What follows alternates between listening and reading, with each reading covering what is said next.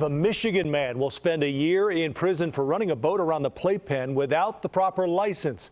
Federal prosecutors say from 2017 to 2019, 37 year old Christopher Mike Garbowski chartered this boat known as Seahawk or Anchorman. He charged money to passengers, including bachelorette parties, but investigators say he had no boating credentials and the boat had no inspection or certification.